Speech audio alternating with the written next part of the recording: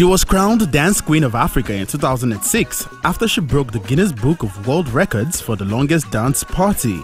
15 years down the line, Kafaya Shafau, popularly known as Kaffy, is set to train people in the business of dance with international dance instructor Hollywood, who has worked with the likes of Beyonce and Chris Brown. So all these things, a lot of dancers do not know.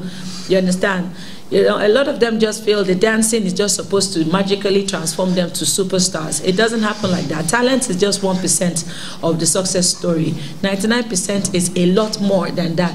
This is what the Wood Dance Workshop is set about to do. And from our theme, it is themed, it is tagged, Dance is Serious Business. Mm, along the line, along the line, line yeah. I see everybody dancing on the line, dancing on the line. If you know you got the move, bring it to the line, bring it to the line. Just pick a lady and take her to the line, take her to the line. But make sure you got protection on the line, protection on the line.